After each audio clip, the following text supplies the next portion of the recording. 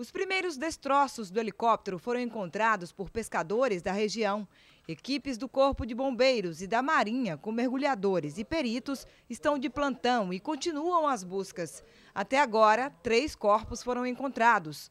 Na aeronave viajavam sete pessoas, entre elas duas crianças e familiares do governador do Rio de Janeiro, Sérgio Cabral.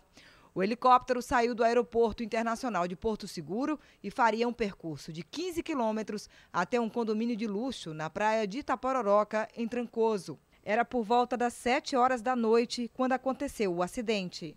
Chovia bastante no momento.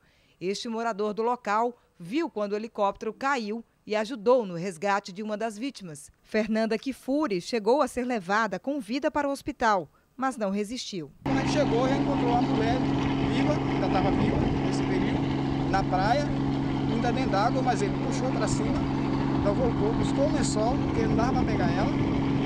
Botei o lençol por baixo, arrastei mais para cima um pouco, viemos pedir ajuda. Ela falou que estava com muita dor, muita dor no pescoço, e estava com muito frio, muito, bastante frio. Além de Fernanda, foram localizados os corpos das crianças Lucas e Gabriel Kifuri, de 3 e 2 anos, e da babá das crianças, Norma de Assunção.